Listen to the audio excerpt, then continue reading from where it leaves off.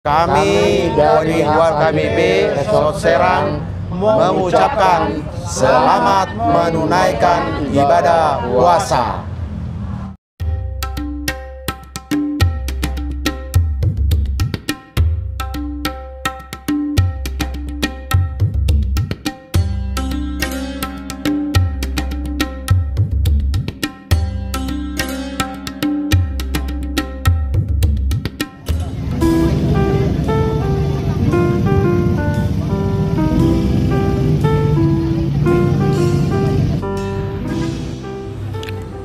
HKBP Huria Kristen Batak Protestan Resort Serang melakukan aksi kegiatan sosial di bulan suci Ramadan 1444 Hijriah.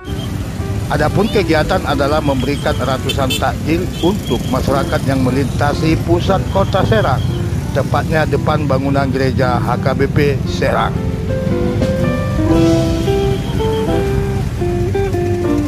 Adapun maksud tujuan melakukan aksi bagi takjil sebagai bentuk sesama anak bangsa.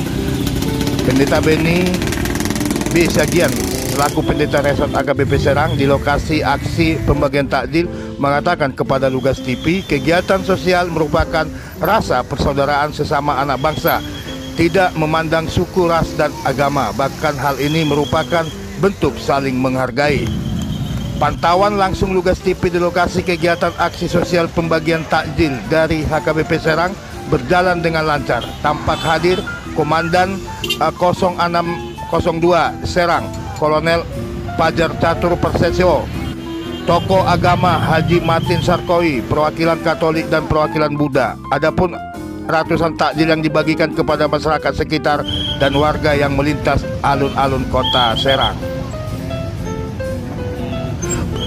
Berikut wawancara Lugas TV di lokasi Badia Senaga dan juru kameramen Kori.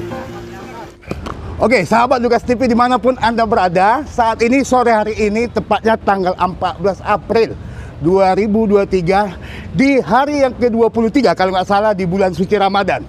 Huria HKBP Batak Protestan Kota Serang membagikan ratusan takjil kepada saudara-saudara yang menjalankan ibadah puasa. Hal ini sangat menarik, membuktikan suatu toleransi yang kuat sesama anak bangsa. Di sini ada Pak Kiai, ada Pak Dandim, Serang atau Kota Serang ya Pak? Semuanya. Oh, se oh, ya, oke. Okay. Sama Bapak Pendeta uh, Pendeta Resort HKBP uh, Serang. Mungkin ke Amang Pendeta dulu ya. Pak Pendeta, kita dari Rugas TV kita tadi melihat ada pembagian ratusan takjil ke masyarakat di pinggir jalan depan gedung HKBP. Kegiatan apa nih Pak Pendeta? Bisa dijelaskan? Ya, baik ini sebenarnya dasarnya sederhana saja. Kita mau berbagi dengan saudara-saudara kita muslim yang sedang menjalankan ibadah puasa. Kita mau menunjukkan bahwa kita peduli dan uh, berdoa untuk mereka supaya bulan suci Ramadan ini semua saudara kita memenangkannya sampai nanti tiba di hari yang fitri di Idul Fitri. Itu aja sebenarnya. Poinnya berbagi sesama anak bangsa. Amin. Betul. Oke, luar biasa. Mungkin ya. saya geser ke Pak Dandim nih. Pak Dandim mohon izin Pak Dandim sebagai wilayah teritorial yang ada di Serang ini, mohon izin ada pesan-pesan khusus nggak kepada masyarakat khususnya Banten, khususnya kota, eh, kota Serang, Kabupaten Serang? Puasa kali ini momen yang suci ini bagi, mari kita sebagai umat muslim kita meningkatkan toleransi beragama.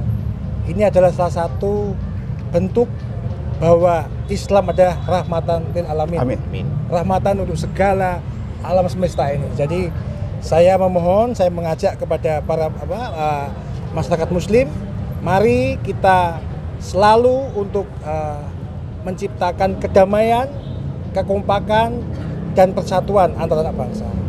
Oke, terima kasih luar biasa singkat dan padat sahabat Lugas TV. Di sebelah saya Pak Kiai, ah, mungkin bisa pesan-pesan terakhir nih kepada Pak Kiai. Pak Kiai, terima kasih Pak Kiai dari Lugas TV. Pak, saya lihat tadi Bapak ikut juga bagi-bagi Pak. Yeah. Boleh nih Pak pesan nih kepada supaya toleransi di Provinsi Banten semakin meningkat karena dari dulu sudah nyata bahwa toleransi yang ada di Provinsi Banten itu jelas-jelas kuat. Silakan Pak. Ya. Uh, pertama bulan suci Ramadan adalah bulan kasih sayang. kasih sayang terhadap seluruh manusia. Dan terima kasih pada pihak HKBP telah memberikan takzil untuk masyarakat muslim yang berpuasa. Ini pertanda bahwa kita satu nusa, satu bangsa. Amin. Oke, luar biasa. Oke, luar biasa. NKRI. Terima kasih Pak Kiai. Demik Pak Thomas dari Katolik. Oh, luar biasa. Ada juga perwakilan dari Katolik. Juga tadi saya lihat ada dari Buddha ya. Wah, luar biasa ada. Boleh perwakilan Buddha ke sini supaya ini tanda bukti uh, keragaman yang luar biasa. Oke, sedikit aja Pak ya karena kita mau berbuka. Dari perwakilan dari Katolik, silakan Pak. Siap, terima kasih kami dari utusan Gereja Katolik Terus Raja bahwa kita sebagai anak bangsa, terutama di Kota Serang, bahwa Kota Serang ini adalah barometer Provinsi Banten untuk kerukunan umat beragama. Di mana Kota Serang ini bisa sebagai contoh 100 meter ke, apa namanya Masjid Agung Islamic Center, 100 meter HKBP, Betel, GKI, Gereja Katolik Terus Raja dan Wihara. Makanya kita sebagai anak bangsa dan generasi penerus bangsa kami harapkan semuanya bisa menjaga kerukunan umat beragama dan kita merawat apa yang sudah diperjuangkan leluhur kita atau eh, pendahulu kita untuk merawat kesatuan negara Republik Indonesia. Ya, Oke, terima mungkin kasih. sedikit ya eh, dari Buddha nih tanggapannya ada terkait kegiatan ini. Eh, sangat sangat bagus.